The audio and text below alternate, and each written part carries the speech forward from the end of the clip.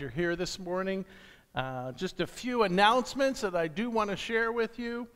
Um, first of all, thank you to Ron and Levon and Dick Meinert for setting up the flowers. They look gorgeous. Um, and then also just other few other things.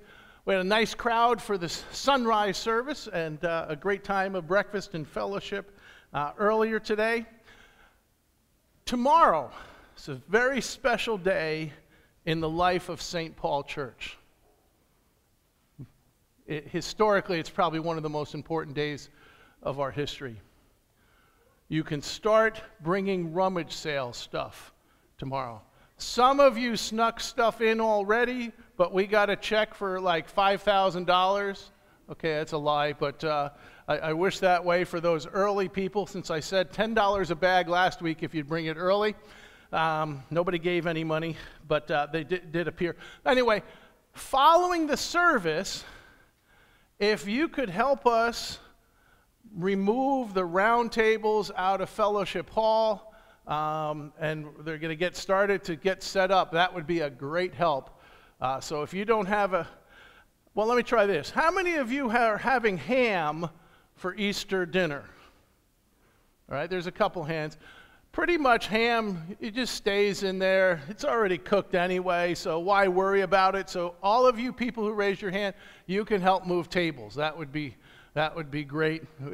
It, won't dry out or just put more pineapple juice on it. it will all be good uh, that way. But anyway, the announcements are about that. Then also following the service, um, we are doing a church directory for the 175th anniversary. And there is a sign up table right directly. And right now, Val Weimer is, is at that table. Don't run out. She's going to come in for church. Um, but we want to encourage you to sign up uh, for your family. Find the slots of time. We want to get as many people in the directory as possible. So, uh, encourage you uh, for that. And then those are our announcements. We'll begin our worship service with the ringing of the bell and our prelude.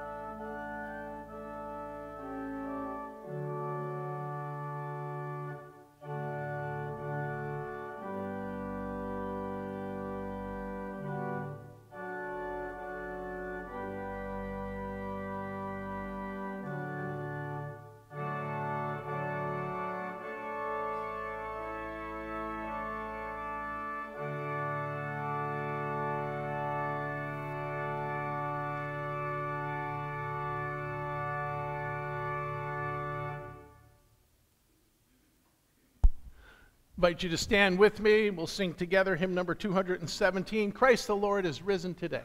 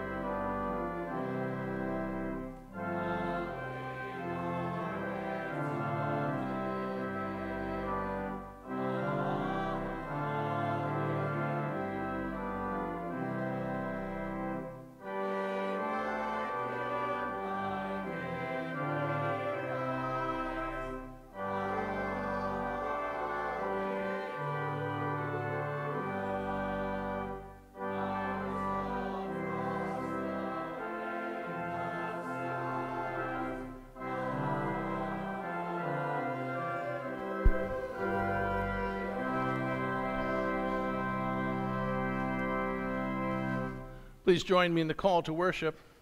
After the Sabbath, at dawn on the first day of the week, Mary Magdalene and the other Mary went to look at the tomb.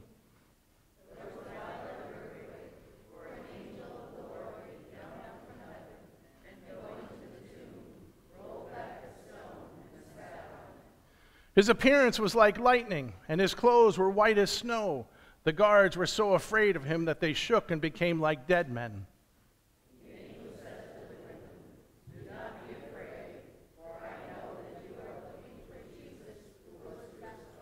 He is not here, he is risen, just as he said. Heavenly Father, we come before you, inviting you here, Lord, just like that first Easter morn. And so, Father, through your Holy Spirit, you come, you worship with us. Father, the fragrance of the lilies does not compare to the fragrance of the worship, Father, that we want to give to you, where you will be blessed. So, Father, receive our worship that would bring you honor and glory through Jesus Christ our Lord. Amen. Please be seated. Number 222, Easter Song.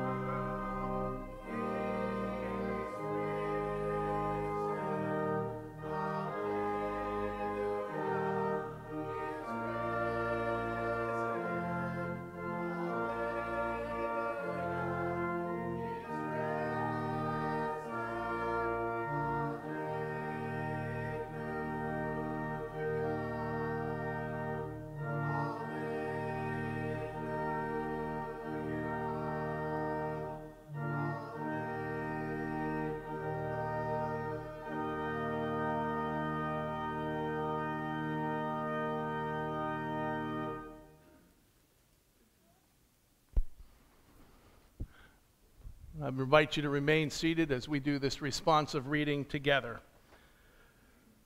But if it is preached that Christ has been raised from the dead, how can some of you say that there is no resurrection of the dead?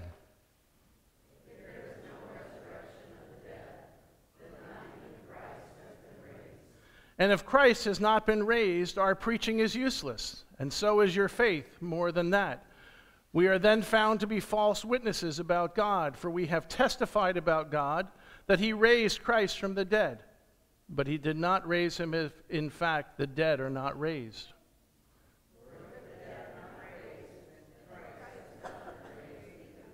But Christ has indeed been raised from the dead, the first fruits of those who have fallen asleep. For since death came through a man, oops, yeah. For as in Adam all die, so in Christ all will be made alive again. Hymn number 215, Alleluia, Alleluia.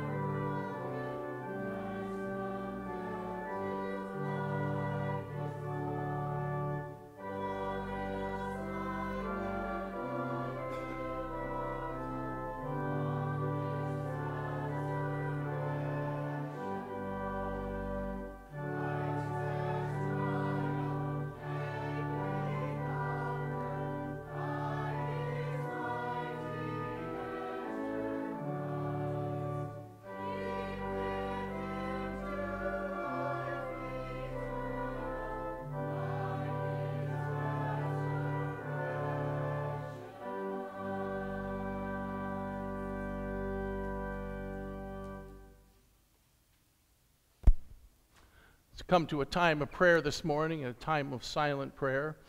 Uh, just a need for within our congregation. Mike Zettel's dad passed away um, this past week, and just want to encourage you to lift up Mike and his family um, as they go through this time of, of death. Mike and I talked earlier uh, about it, and you know, on this Resurrection Sunday, those who know the Lord have already resurrected into heaven.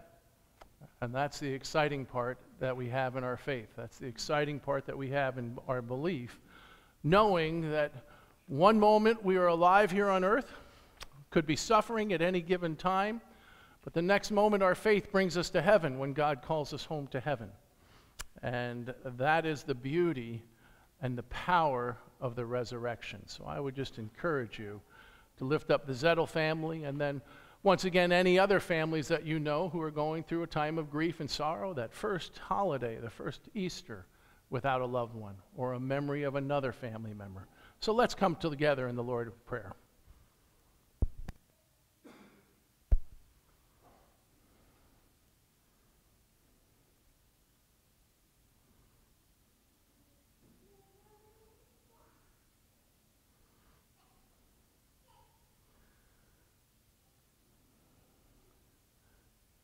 Heavenly Father, it is so easy for us to forget the power of the resurrection is available to each one of us. That, Father, our faith in you, our salvation, because of the cross and your forgiveness that you offer, allows us to come into Easter with joy in our hearts. We so often look back at the passion, the suffering that your Son Jesus went through. the scourging, the cross, the nails, the spear, the crown of thorns. And we're thankful for the forgiveness that you offer and that gave us through your Son Jesus. But Father, for the Zettel family and all who may grieve with them today, for others, Lord, who sense the sorrow because the sting of death has affected their lives. Father, for those who know you, who believe in you, the power of the resurrection is not just for Easter Sunday, but for each one of us at any time. And so we give you thanks, Father, that the tomb is empty.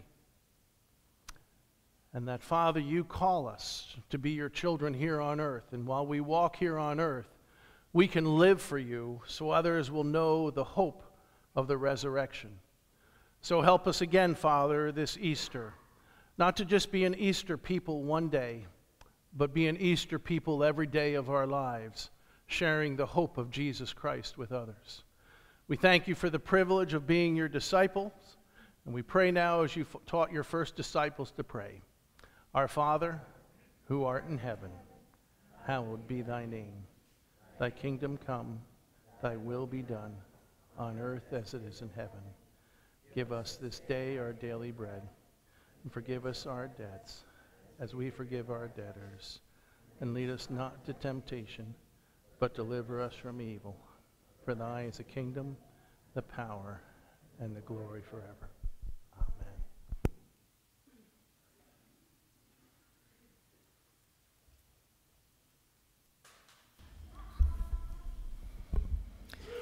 Luke chapter 24, verses 1 through 12. On the first day of the week, very early in the morning, the women took the spices they had prepared and went to the tomb. They found the stone rolled away from the tomb, but when they entered, they did not find the body of the Lord Jesus. While they were wondering about this, suddenly two men in clothes that gleamed like lightning stood beside them. In their fright, the women bowed down with their faces to the ground. But the men said to them, Why do you look for the living among the dead? He is not here, he has risen. Remember how he told you while he was still with you in Galilee?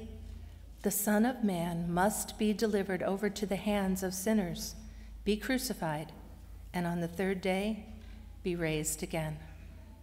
Then they remembered his words. When they came back from the tomb, they told all these things to the eleven and to all the others. It was Mary Magdalene, Joanna, Mary the mother of James, and the others with them who told this to the apostles. But they did not believe the women, because their words seemed to them like nonsense. Peter, however, got up and ran to the tomb. Bending over, he saw the strips of linen lying by themselves, and he went away, wondering to himself what had happened.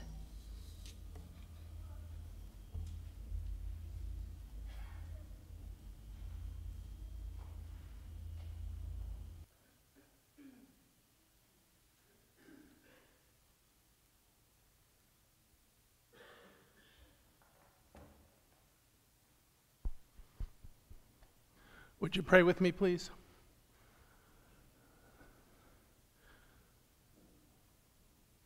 That first Easter, Lord, Peter wondered what happened. We gathered today celebrating what happened.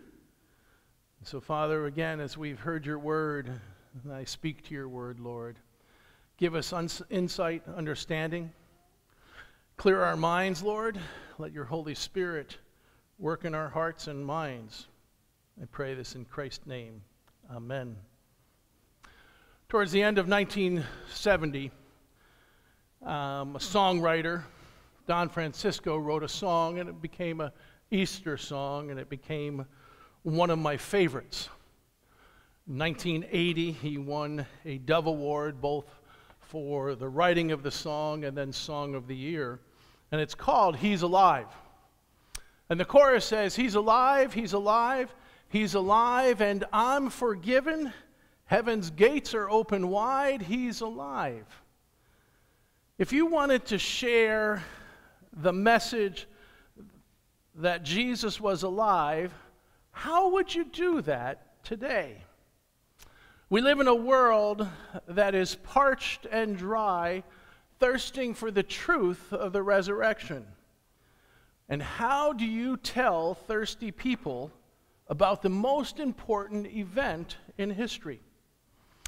In the 1980s, Pepsi had a campaign called Come Alive. I don't know if any of you remember it. They figured out how to tell thirsty people about their product. I got to tell you, as Christians, living in a world of thirst, we need to figure out how to tell thirsty people about Jesus. Well, it didn't air the same way across the world. The Taiwanese translation of the Come Alive ad was this Pepsi brings your ancestors back from the dead. Yeah. Yeah, I, I kind of like that one. And then I read that in Germany, the ad read, Come alive out of the grave. And I'm like, Well, that's what Easter's about. Maybe we're just supposed to be drinking Pepsi, and we didn't know that. But then I thought for my mom, because I love my mom, mom was always concerned about her weight. So I only drink Diet Pepsi because I thought if my mom comes alive, she'd want to be less weight. So it'd be like a Diet Pepsi come alive. Resurrection sounds unbelievable, as most of us, and I would guess all of us, have never really seen a dead person come back to life. I know in the hospital situations where I work in, that seems to happen, but not, not quite the way Jesus was. There is one central alleged historic event upon which everything we believe and practice as a Christian rests. Christianity rests on the idea that Jesus Christ died and rose again.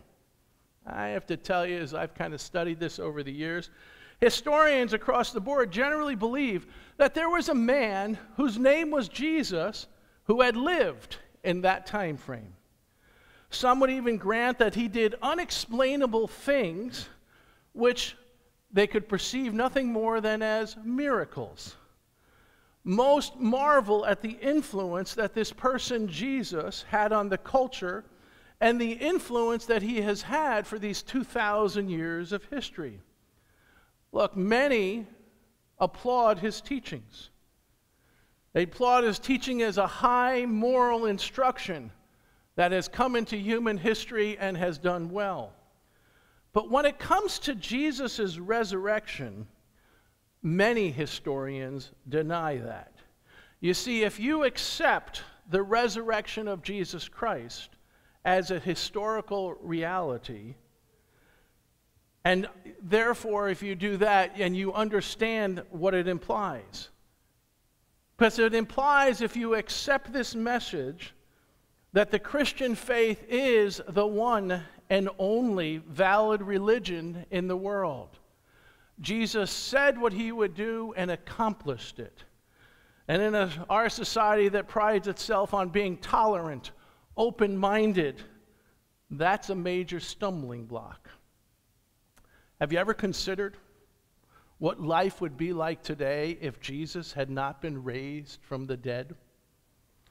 What if on the third day, when those women came to the tomb and the stone was still there, and the body of Jesus was still lying inside? What if Jesus' body just got decayed in the grave. What would our world look like today? Well, let's just start by saying that the good news of Jesus and what we call the gospel would never have been presented to the Gentiles because there would be no good news to proclaim. The very fiber of Western civilization would be totally different. Here's an interesting perspective for you. No resurrection of Jesus, spiritually, we would probably be atheistic heathens, superstitious pagan idol worshippers, or just nature worshippers. There would be no Easter bunny, no chocolate. Yeah, that's, that's, that's really bad. We would have just had some kind of spring festival. The spiritual world as we know it would not exist. It was with missionary zeal of the early church that brought unity to nations, to peoples, to tribes, to all different tongues throughout the world.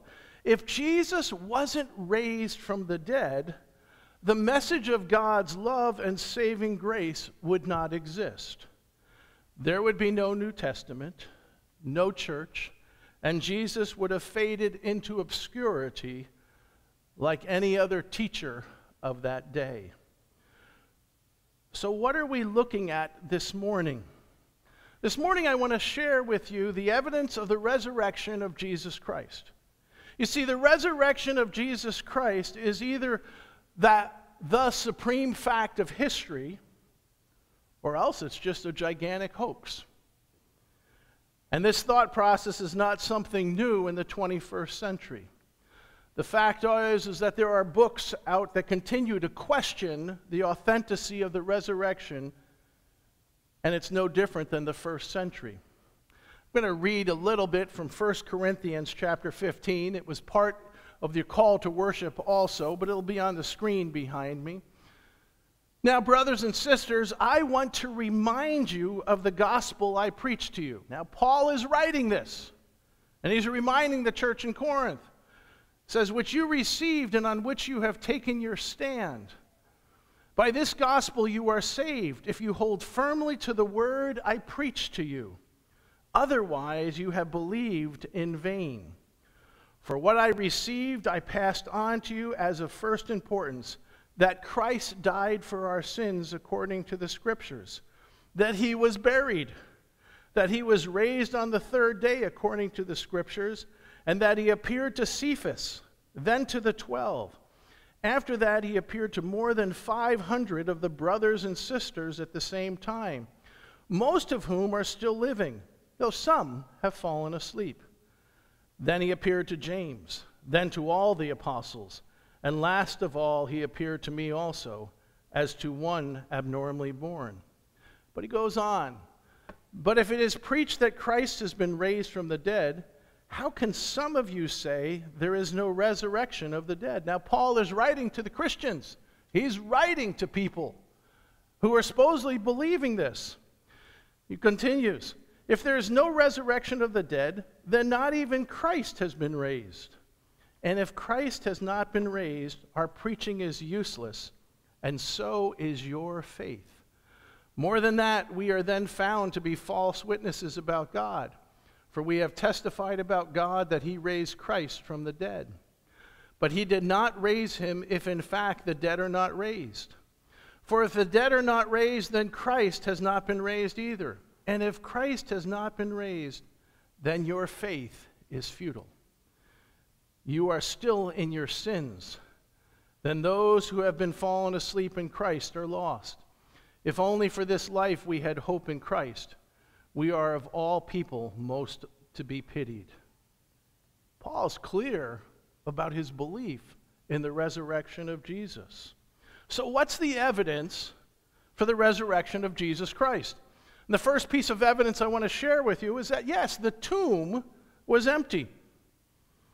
Now, right off the bat, it gets interesting. Ever since the disciples began to proclaim that Jesus had risen from the dead, some have denied the historical resurrection and have come up with ways of trying to explain the evidence of the empty tomb. And they came up with some interesting theories. So this morning I want to share some of those false theories and show you how they are false. The first theory is known as the swoon theory. I just like the word swoon. Popular in the 18th century, but still popular today on university campuses. I always said this one appeals to the intellectual for some reason. The basic premise of the theory is that Jesus didn't really die on the cross. The theory argues that Jesus was nailed to the cross, he suffered from shock, pain, and loss of blood. But instead of dying, he merely fainted. Or if you like, the more archaic word, he swooned on the cross. Then the disciples, mistaking Jesus for dead, buried him alive in the tomb. After all, medical knowledge in biblical times was not very advanced. Once in the cold tomb, Jesus began to revive. Now, it's an interesting theory that is probably more miraculous to believe that that happened than the resurrection itself. So, here are a few of the difficulties of the swoon theory. First, Jesus wasn't declared dead by his disciples, they didn't really have a say, but rather an experienced professional Roman executioner who had done this many times before, the centurion, the person in charge. And of course, the whole piercing of Jesus' side, the separation of blood and water, are hard to fake. Medical science tells us that this is a sign of death. Then we have the encasement in linen with more than 100 pounds of sticky spices. We're used to watching just the Shroud of Turin. You know, oh, must be just that face covering. No, he was wrapped and spices were into burial procedures in that time were very interesting. If he wasn't already dead, the wrapping, the spicing would have suffocated him. And then, just as a reminder, Jesus would have been very weak. Now, remember the beating, Remember the scourging, the crucifixion, the pain, the loss of blood. I want you to imagine this with me. He got revived in the tomb. He unwrapped himself. He moved the stone. He fought off the guards and walked away with pierced feet. This would be a miracle. Second theory, still on the tomb is empty. The theory has two schools of thought on this one, and it's the stolen body theory. The first line of thought is, is well, we knew he was going to resurrect, so the disciples came and stole the body. The second theory of this is the Jews and the Romans. They took the body of Jesus. Well, let's look first at the disciples. They stole the body from the tomb and fabricated the resurrection account. That's the basic belief. Matthew 28, verse 13, records this the guards were told to say, His disciples came during the night and stole him away while we were asleep. Then a little further down in Matthew's gospel, half, second half of verse 15, and this story has been widely circulated among the Jews to this very day. So, what's the weakness? Well, first of all, if the Roman guard had fallen asleep, how'd they know that the disciples took the body? They came and stole the body. Second, the whole idea of getting past the Roman guard seems a little bit of a reach for even the disciples. History tells us that a Roman guard, we look at it and say, okay, there's somebody standing there. Most of our paintings have one guard or two guards standing there. A Roman guard, according to history, was usually a 16 man unit. The normal procedure at night is, is that four of them would be in front guarding, the other 12 would be resting. And then every four hours, they would change the guards and switch. So, to steal Jesus' bodies, the disciples would have had to walk over the sleeping soldiers, get past the four who were on guard. Of course, there was the issue still of that little stone, having to get past without waking up the other soldiers. And finally, the theory of the disciples stealing the body conflicts with the basic instinct of self preservation. Look, I don't know the disciples personally. I don't think they were much different than you and me. So think about that. Would you have done it? Maybe some would say, Yeah, my belief is so strong I would do it. And others would say, I'm not sure.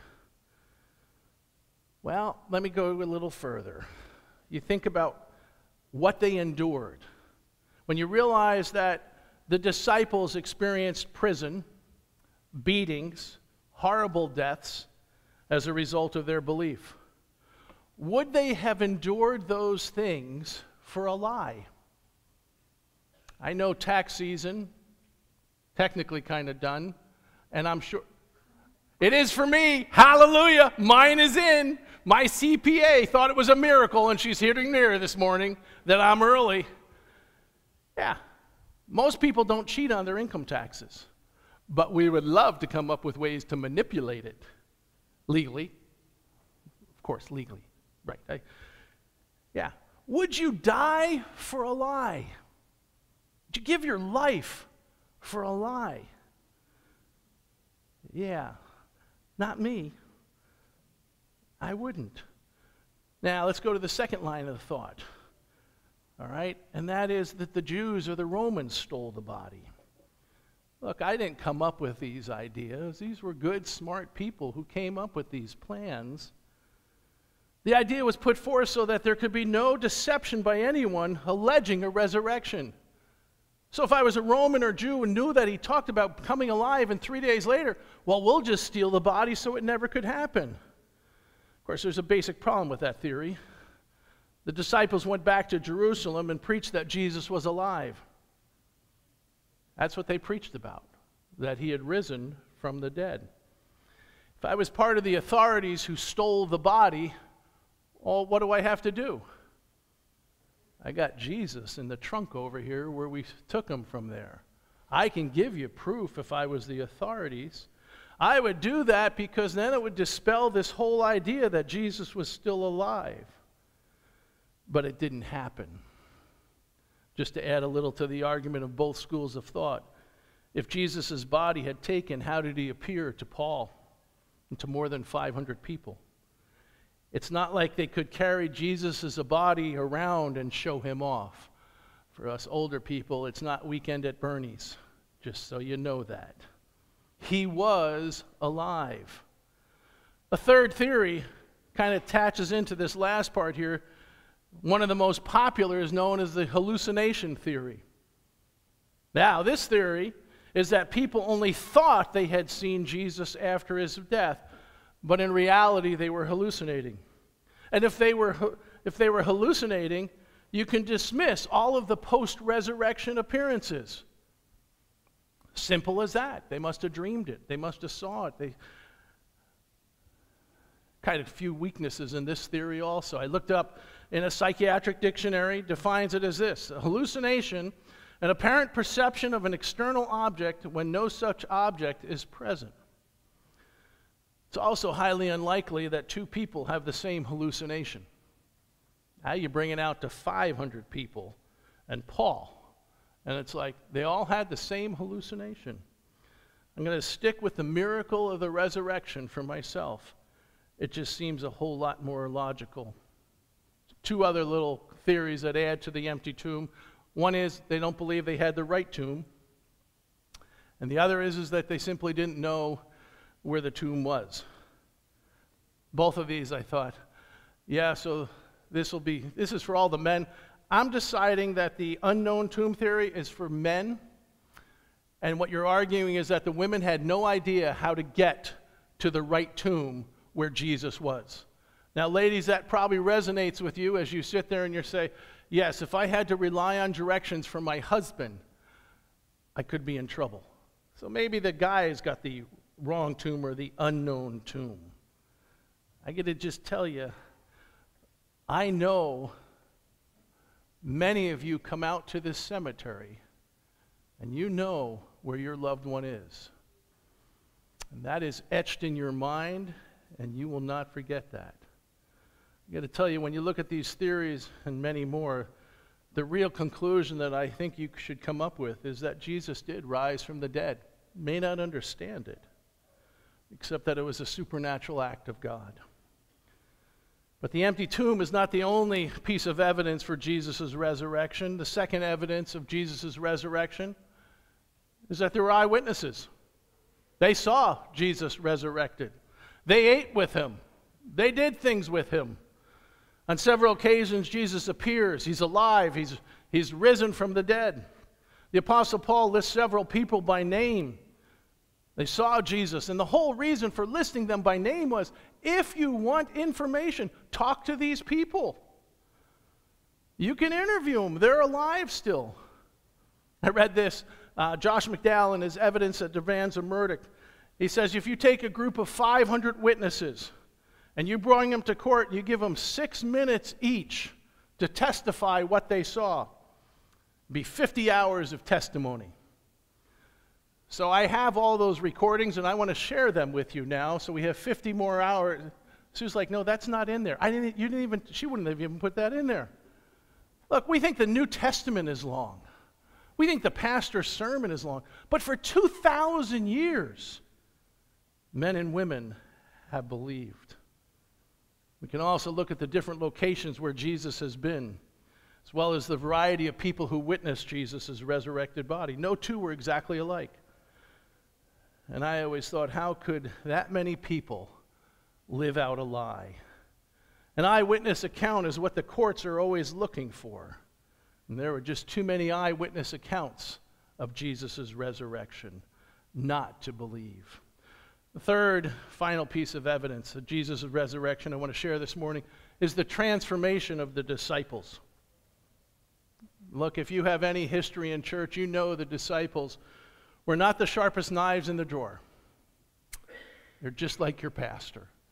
They're not the brightest, just like your pastor. They struggled, they were challenged. But we are here this morning because those 11, 12, those first groups of disciples went out and preached about Jesus dying and resurrecting and giving hope for eternity through salvation in Jesus Christ. That group of disciples was so convinced about the reality of the resurrection that they changed from a frightened group of people hiding behind closed doors to a fearless band of witnesses who would tell and wanted to tell everyone about the resurrection, despite the, the threats that they received. Not one of the disciples changed the story about the resurrection. I had mentioned earlier about what they suffered. Tradition says that literally 10 out of the 12 first apostles were martyred for their faith. And in the first few centuries, thousands of Christians were put to death because of their belief in Jesus Christ. For the last three months, we have been going through 1 Peter in the church here. And we were talking about the suffering written roughly in 60 AD, 30 years after Jesus' death and resurrection. And men and women were persecuted already for their belief. Would you be willing to give your life to protect a lie? People willingly died because they were utterly convinced that Jesus was alive and for us, friends, Jesus is alive. The tomb is empty. The disciples saw him. Their lives were transformed. They came new creations. They went ahead and were witnesses till the end of the earth. And that is good news. That is the gospel of Jesus Christ. That's what Paul meant when he read what we read in 1 Corinthians 15 that Christ died for our sins according to the scriptures, prophesied in the Old Testament, that he was buried and that he was raised on the third day according to the scriptures. And so the, this morning I ask you, and you need to ask yourself, what are the implications for your life, for your day to day living? Since the resurrection is true, failure to adjust our lives really does carry eternal consequences. And so this morning, and really every morning, the choice of Easter is yours. Look, the evidence is there. The question is, are you willing to examine it? Not just to take my word on Easter morning. Are you willing to look at the scripture, look at the historical context, look at what's happened in 2,000 years of history? Because if you're not, then yes, you can just set it aside and not have it worry about it. But the evidence is there, but each one of us has a responsibility for reaching our own verdict. If the resurrection is true, what will you do about it? And so I encourage you look at the evidence. But remember that Jesus is still for these 2,000 years in the business of changing lives. Is yours one that needs to be changed? Maybe you're just comfortable. Maybe you don't care. Or maybe it's time for you to look at the evidence. Look, for myself, I know He's alive. And I've been forgiven, and heaven gates are open wide. And that's my prayer for you. Would you pray with me, please? We're gathered here, Lord. Some come, Father, because it's Easter and we want to celebrate the resurrection. Some come, Lord, because it's a family gathering and I, they want to be with family and they're, they're here. And some come, Lord, because they have to come because their parents said they had to be here. But for each one of us, Lord, remind us that the cross was for each one of us.